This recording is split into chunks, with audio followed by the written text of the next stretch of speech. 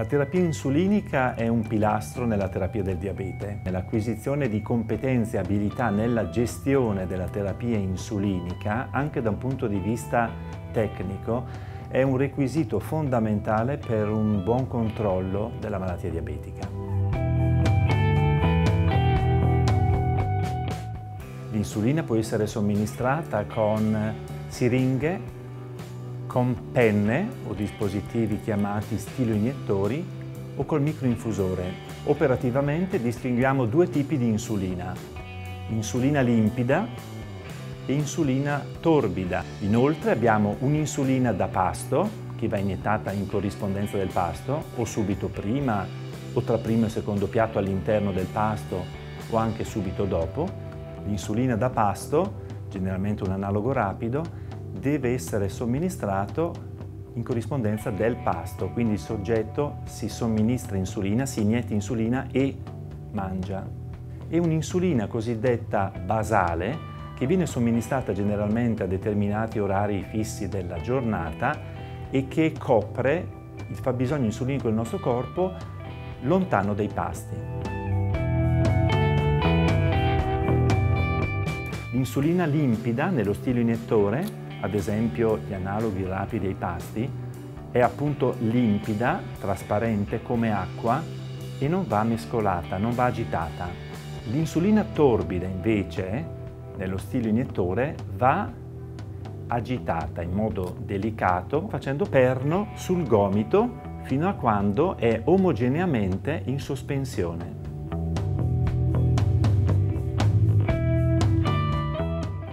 L'insulina si inietta nel sottocute della pelle. Vari tipi di pelle in aree cutanee diverse hanno velocità diverse di assorbimento dell'insulina. L'insulina si porta a casa dalla farmacia e appena giunti a casa va posizionata all'interno del frigorifero nel cassetto della frutta e verdura, cioè il meno freddo all'interno del frigorifero. L'insulina che ci si inietta invece deve essere estratta dal frigorifero almeno mezz'ora, un'ora prima della prima somministrazione, in modo tale che raggiunga la temperatura ambientale prima di essere iniettata all'interno della pelle. Prima della somministrazione dell'insulina, ispezionare la pelle dell'area prescelta ed evitare di somministrare l'insulina in corrispondenza di nei, di aree infiammate, eritematose, infette, cicatrici e vasi visibili. Si raccomanda di lavarsi le mani, raccomandiamo di disinfettare la pelle in corrispondenza del sito di iniezione.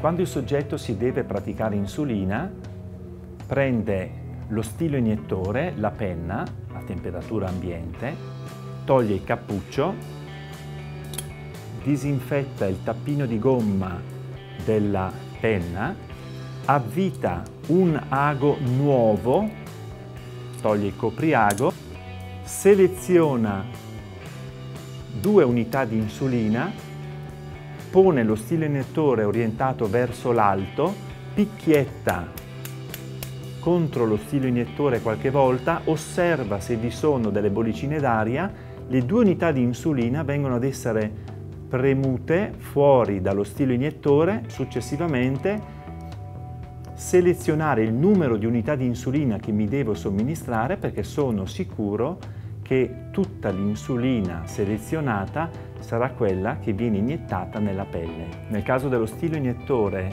con insulina torbida, rimosso il cappuccio, l'insulina va omogeneamente rimessa in sospensione mediante un'agitazione gentile di una ventina di volte verso destra e verso sinistra con questo movimento di rotazione facendo perno sul gomito. Quando è omogeneamente lattescente è pronta. Raccomandiamo di selezionare le unità di insulina sullo stilo iniettore dopo aver avvitato l'ago. Con lo stilo iniettore il soggetto si inietta nella pelle disinfettata la dose di insulina.